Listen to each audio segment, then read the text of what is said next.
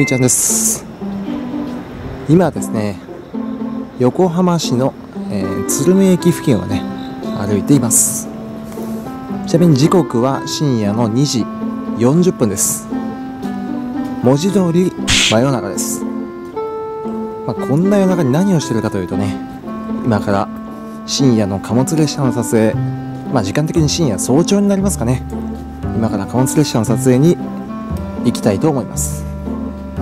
で目的地まではね約20分ぐらい歩くのかな。徒歩で向かいたいと思います。はい到着しました。花月園前踏切ですね。ここね今年の4月の頭に撮影に来たことあったんですがね非常に短時間だったんでね。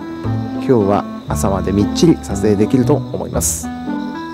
意外とね近いですね。多分鶴見駅から歩いて15分ぐらいかな。多分距離にして1キロはないですね。800メートルぐらいだと思います。